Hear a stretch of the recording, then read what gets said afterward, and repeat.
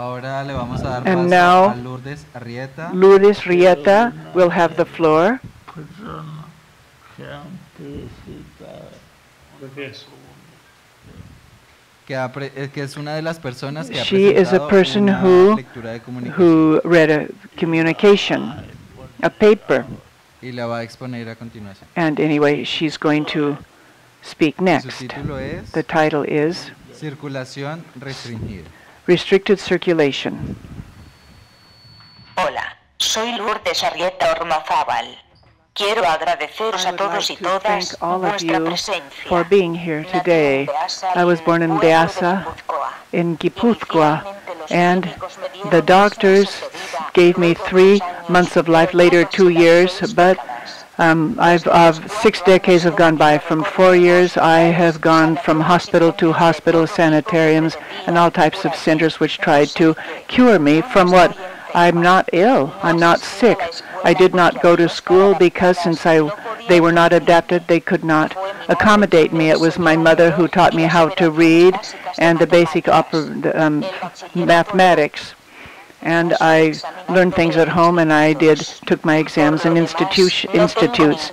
And furthermore I do have no academic diploma but I have a lot of experience.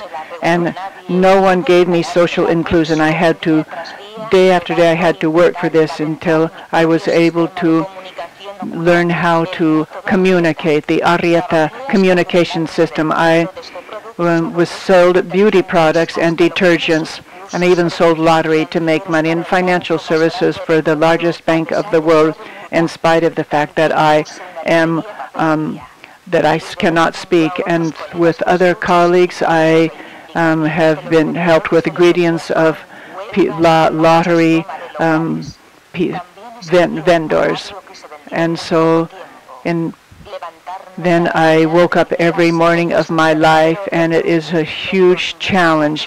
In 2013, the Arrieta method was um, be, what began, and this was a Moriarty production, and it was there was it was called Open My Eyes. It's a book which uh, shows the most important um, events of my life. I am an activist and I defend the rights of people who have a functional diversity.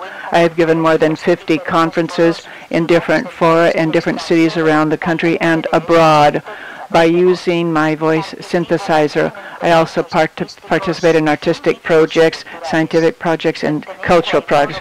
I am part. I belong to the Independent Living Forum and to the SOCOM um, group for solidarity of people with functional diversity and social inclusion. I know what discrimination is all about since I am poor, I am a woman, and above all, because of my disability. And in a few more time, I will be marginalized because of my age. But for that battle, I'm I am ready. With this lecture, I am trying to tell you the following to show you that the Spanish Constitution and the Treaty of the Functioning of the European Union and the Universal Declaration of Human Rights, and particularly the Convention of the United States on the rights of the, on the rights of people, the Convention of the Rights of uh, Persons with uh, Disability, Article 19 particularly, which uh, defends all citizens and their right to freely choose their residence and to free movement. But in practice, they do not bear in mind special characteristics of people with functional dis- diversity, and to the contrary, that we are marginalized. And I'd also show the urgency to counter an organic law which make a personal assistant be possible for people with functional diversity as an integration tool to have access to full exercise of all uh, liberty which for law and dignity are not inherent all around Spain and Europe. And now let us go to the issue I am addressing. Not long ago I lived in a beautiful, lov- lovely city, Donosti. Unfortunately, the client in the Basque country started to worsen my health. You know that for people who have mobility, movement problems, uh, humidity and cold is a, is, works against us. And boots, heat, and too much clothes removed my mm, ability to move about. And so I felt that uh, my parents uh, uh, died, so I decided to move to the south, thinking that I could exercise my right to free movement and residence. And um, and so before moving, my husband and I needed to analyze the problems which our project was all about by looking in my, my 94% disability. So I would also try to fulfill my life dream to live looking at the sea. Uh, uh, so I was looking for an adapted home for a year. I looked at all of, I looked at 200, 2,500 homes. I got in touch with real estate companies, and I asked a lot. I explained my profile of, of I explained my needs as a user and needs, and so then, um, so I had to tell these agents what it meant to find an adopted home. Some features. Um, are there. But when we got in touch with the owners and asked for more information and photographs, it turned out that they had small bathrooms, or they um, they had there were uh, stairs, narrow doors, and the like. And oftentimes there were no ramps, or some ramps they they were very very inclined, and so it would be impossible. And even there were elevators where uh, a wheelchair would never fit. And so we finally found a flat. It wasn't necessarily adapted, but it was accessible. In other words, uh, ba- bathrooms where a wheelchair could turn about, and um, and uh, everything was flat. Windows, um, big elevators, etc. And it cost over half a million euros. Conclusion in the entire Mediterranean coast, I could not find one single home that could be adapted to my needs at a reasonable price. So therefore, we needed to focus on something new or um, other homes and to um, fix them up or do free refurbish them. But it wouldn't be in the front, uh, looking at the sea. But everything was expensive. And so between paying a high price for an old home or a new home, the choice was clear and fortunately I found a home that um, fit in with my requirements. However, I had to invest a lot of time and money in ref- to refurbish and do adaptations without receiving a penny of help for that um, aim. And so I discovered that because of my disability, I could not freely choose the place where I could live. Uh, this is a basic right, which is in our law, but apparently the uh, the provincial, autonomous, and municipal authorities never have shown any interest to comply with this. I left Gipuzkoa, and I was going to renounce a right which was very useful for me. Personal assist, assistance given by the Independent Life Program from the by the um, government of Gipuzkoa. And I could do different types of activities, political, scientific, and culture, cultural activities. And thanks to the independent living form, I was able to be independent with um, and in a, digni- in a dignified way. I didn't depend upon my husband. I could even travel um, to different countries knowing that I could control my life as best I could. Well, giving this up was very hard for me. And this program, in my cases, as well as in the few provinces or Spanish cities where if this is valued for that particular area. If you leave your province for more than three months, you lose that right. In my case, it was I was Gipuzkoa, my new life project, as I mentioned before, and I left because of health. I had no other choice. Was, as there was no legal framework for the independent living framework, then I could not perceive this complement of my pension in another province. After I sold my home and did all the paperwork, I had to give that uh, program up in the uh, in the regional government. People thought my decision was very odd, but there was no going back. To have a car facilitated our journeys to see and look for alternatives to find what home we would buy.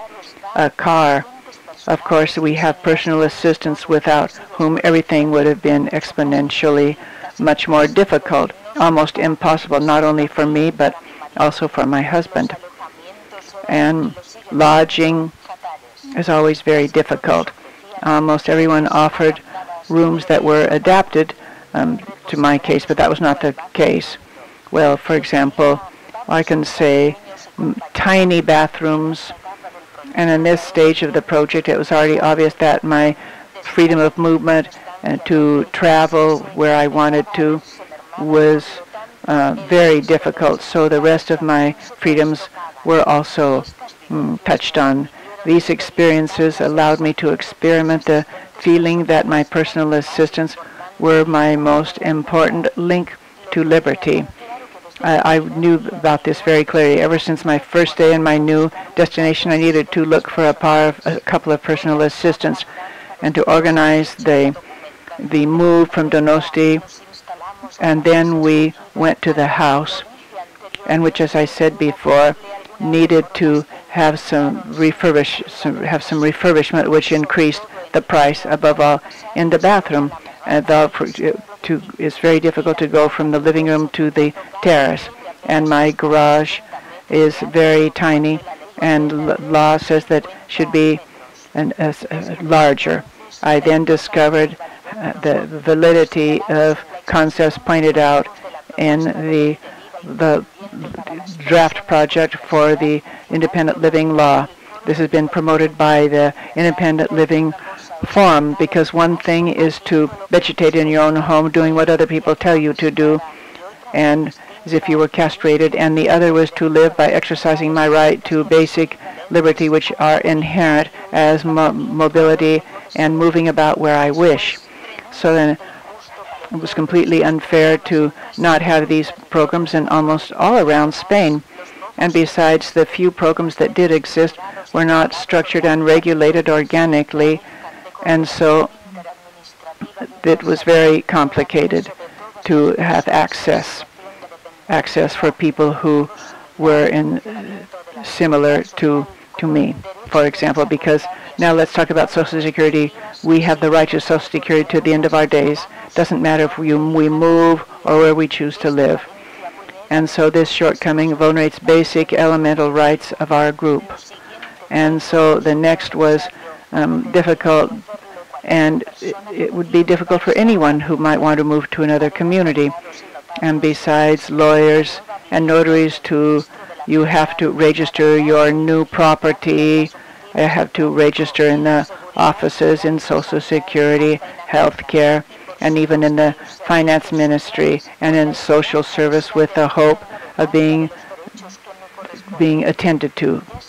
And I already knew that in all of the Mediterranean basin, except Barcelona, I would not find an independent living program that could uh, welcome me and give me this possibility. It, it, was ruled out. So before the move, I had had information about the provisions of social services in different communities and provinces and cities, and in some measure, I already knew what I'd have to cope with. The go from uh, Mariano Rajoy as the presidency was was uh, one thing. The grass has not grown back and almost all of the country, and particularly the Mediterranean coast, the concession of some aid might take months or years to become effective. That is, if you even get this, and it's very limited. And when these are technical aids, there's a, a, a small list of articles, the cheapest ones, and in many cases, they are already obsolete. And in the case of the, the, the law of dependence, one has to wait for three, at least three years for a resolution which is not always favorable. In all of Spain until October of 2017, 200,000 people had died who were on the waiting list, uh, waiting for the central government, waiting for their uh, the, the funds that were to be allotted to them. There are more than 200,000 people are waiting for a solution. The panorama is not very encouraging. We knew that the independent living forum has uh, has a, a, a, a, organic law proposal to organize and to give a personal assistant as its natural right to people who have a functional re, uh, functional diversity. This is a law which entails the precepts of what we are looking at, and nevertheless, this draft proposal, which sounds like celestial music and and looks so serious, might take a long time be, become a reality because before that has to go to uh, to the parliament where each party will surely want to um, do do something else. So in the end, it, it seems to be their own initiative, and so they will look good in the photograph. We know that's part of the political game. My experience is proof of what it means to be is to not exercise the right to free circulation and to uh, live where I want in equal conditions, like the rest of humanity, as we see in the Spanish Constitution and the Treaty of Functioning of the European Union and the De- Universal Declaration of Human Rights, and particularly the Convention of the United Nations on the Rights of Persons with uh, Disabilities. This refers to the full exercise of citizen freedoms and particularly the first paragraph of Article 19, which protects all citizens in their right to freely choose their place of residence and to move about the national territory. That's tied into uh, freedom. It's tied into freedom of choice of residence to live in a given community. This nobody told me about this. I've experienced this and I still experience this. Unfortunately, and whilst there is no specific law which will guarantee this right, I will continue in the limbo of exclusion with rights, but nevertheless with my limited independence. If someone else, a normal person, a pensionist, but normal, that is to say, with no important disability, would have uh, tried to go to another city in the Mediterranean Sea by buying a home and everything this is, is involved here, he would have spent between 100 and 120,000 euros instead of 300,000 euros that I've had to invest. And so in the practice, it's if we are paying an, uh, an overtax just because of my functional diversity. And besides, I have to contract and pay for this. I have to pay two personal assistants out of my own pocket, plus their Social Security uh, quotas. And so, if not, the manifestations of freedom of opinion, communication, participation, and manifestation are uh, have been um, relegated. And so thank you very much.